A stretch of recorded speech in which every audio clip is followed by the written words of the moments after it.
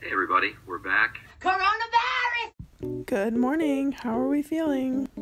Good? Great. Okay. So this is me checking my abs because I haven't worked out in forever. Um, I don't know. I don't know. And then I was just vibing. And then there's Coco. And then I made my breakfast. It was such a good breakfast. Also, for the first time in my life, I got a double yolked egg. That's the two eggs right there. Two eggs, three yolks. Amazing.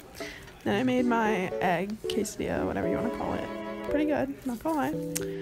And I had a slice of banana bread, my egg quesadilla, and just some fruit. And then that's me choking on water. And that was the Jonas Brothers, yeah. And then I cleaned my room and made my bed, obviously. Just wanted to organize my life, you know? Oh, and also I deleted TikTok and it actually made me much more productive and I don't really miss it. And after our walk the other day, I cleaned my shoes. Look how pretty they are. And then these pictures keep falling off my wall, so I just had to fix it. There we go.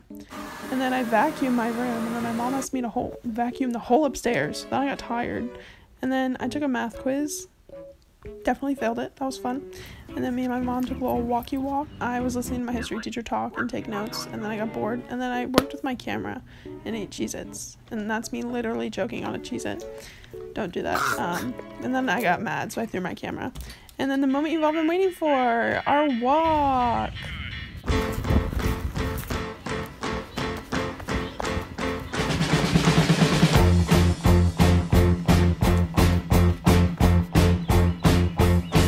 Now enjoy my awesome slow mo aesthetic.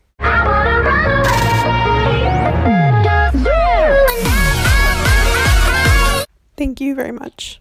Then I had a mm. burger for dinner, and then I obviously needed dessert, so I made my own cookies and cream milkshake, and it was fabulous.